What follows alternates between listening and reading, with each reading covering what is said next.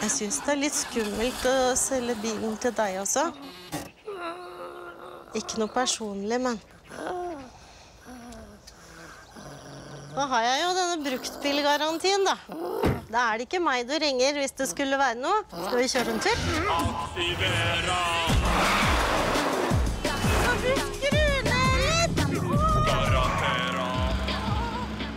Finn.no.